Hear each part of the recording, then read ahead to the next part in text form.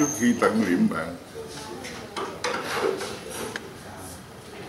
Mà làm cho tôi nhớ lại bao nhiêu bao nhiêu lần mình gặp nhau ở bên Pháp tại nhà tôi, ở bên Mỹ tại nhà của Duy. Rồi, gặp nhau bao nhiêu lần? Những lúc mà Duy đi sang Pháp thì không phải là chỉ gặp ở nhà thủy quê không? Mà còn gặp riêng, rồi ăn cơm riêng, rồi nói chuyện riêng, rồi duy đặc biệt, quay những cái đoạn phim mà tôi nói cảm giác của tôi khi mà hai anh em bàn gì có lượng cái quan ở tại nhà của anh Bùi Tấn Đốc, ở Square Country biết bao nhiêu là kỷ niệm vui buồn mà anh em đều có nhau cho nên cái khi mà Duy phải bị đi xa đất nước, báo chí hỏi Phạm Duy hỏi cảm giác anh Duy ngày hôm nay như thế nào. Thì cái câu trả lời của Duy làm tôi không găng được nước mắt. Nói rằng, I compose for my country. Where is my country now?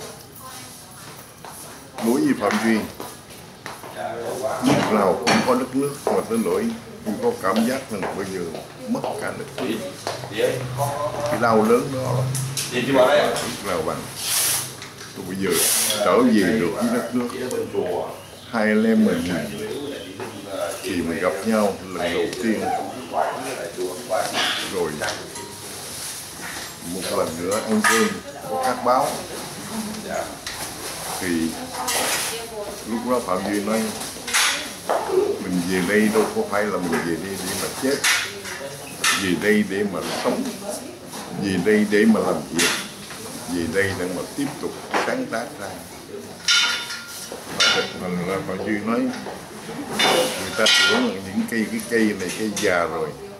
Chứ còn cây già này nhất định là không có chịu. Mà im hơi dám tiếng thì lúc đó tôi cười, tôi mới nói với Phạm Duy.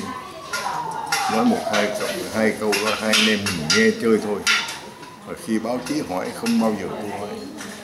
Tôi chỉ nói hai câu đầu thôi. Thì cái hồi đó là cái lúc mà báo chí gặp có rồi, báo tuổi trẻ, báo thanh niên.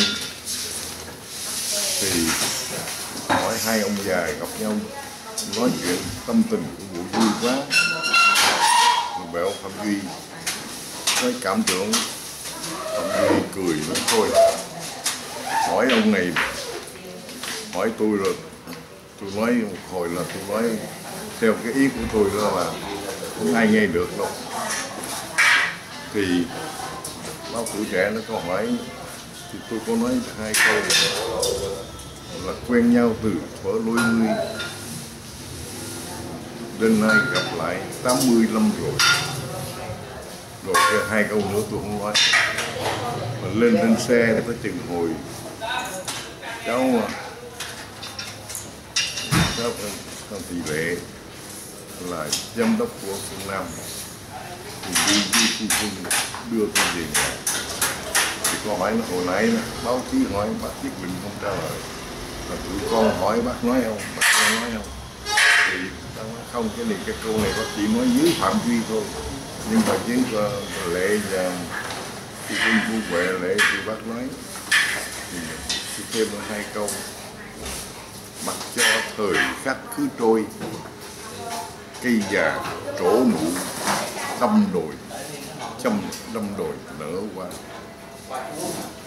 thì là đâm đâm chồi nở qua thì là đôi khi đó muốn chơi cười như vậy, rồi mình gặp nhau.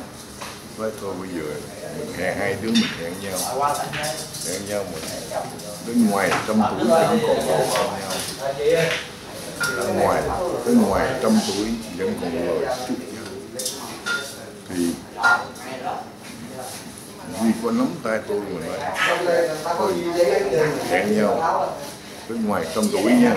Nói được thì lúc đó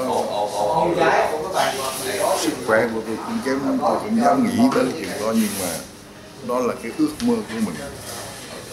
Và hôm nay tôi cố gắng sống lại những cuộc đời để là làm tròn nhiệm vụ của hai anh em mình. Mỗi người.